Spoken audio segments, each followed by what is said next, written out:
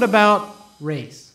This shows the distribution of the uninsured uh, by the total population by race, and this is the distribution of the uninsured population. So blacks and Hispanics are overrepresented in the uninsured group. So if we reduce that part of the pie, um, we'll be addressing inequity in um, insurance rates. This is taken from a very cool study from the Urban Institute that did these uh, simulations to say what would, what would the uninsurance rates be in 2016 for people without insurance.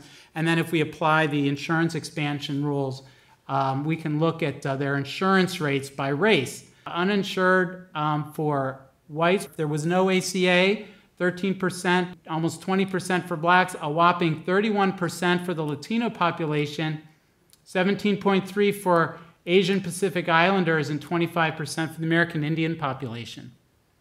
And then if you apply current law for the Affordable Care Act, um, that, law, that rate has gone down to 6.3 for whites, 11.3 for blacks, 19. Okay, so I'm just, what I'm going to do is show you these numbers in a different way here. Let's look at who gained by how much. So the percentage point gain for whites, uh, 6.8 percentage points. Blacks gained more, and Latinos gained a whopping 12.2%. So we get greater gains for um, uh, uh, racial and ethnic uh, minority groups. But another way to look at it is to look at the gaps. So this is relative uninsurance rates compared to the white population. So a no ACA, 6.75 percentage points higher for blacks. Here are the gaps beforehand. And see the gaps have shrunk for blacks, gaps have shrunk more for Latinos. Um, and so uh, we're moving in the right direction. But there are still uh, issues, things that we need to accomplish if we're going to eliminate and move more towards uh, addressing these disparities. And the most, the, the lowest hanging fruit here is Medicaid coverage.